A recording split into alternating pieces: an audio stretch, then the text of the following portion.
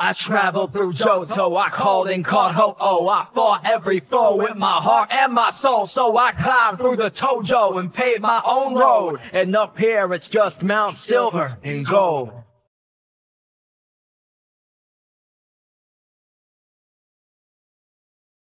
The time is now to fight for my title. You've had plenty battles, but this is your final. My bird's eye view, watch you try to survive. It's no wonder this mountain is named after your rival. Blazing on the mic, I spit those shards hard, bars hard. Select L, R, start. When our discharge sparks, I'm a god of the mods, putting down heathens. My top tier team will leave this B-list defeated. So start sending tears back to mommy, Ethan. Hey you, it's gold and I'm noble. It takes a miracle to turn a mute boy vocal. And now that you've spoken, I'll lend you my potions. When your tiny rodent gets flowed by Typhlosion. I came to battle you, but I found a baby with an attitude and ego that is higher than its altitude. A blood-colored boy should be taken more serious, but they call you red cause you got nothing but periods.